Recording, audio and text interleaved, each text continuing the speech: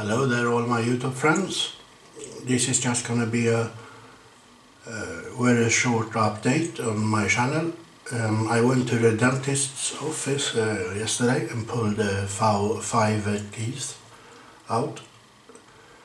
Um, so I'm uh, feeling a bit under the weather at the moment. So I just want to tell everyone this uh, uh, so you know that I why I'm not gonna be very active at all at YouTube for a few days now. I'm uh, you know gonna lay down and have some painkillers I think.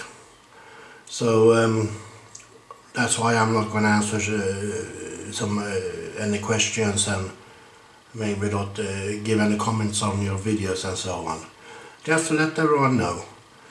So um, there you got it. Uh, have, have a great uh, day and week now everyone and uh, I will put up a video again as soon as I'm back. Have a great uh, week now as I said. Uh, bye bye and greetings uh, from Sweden.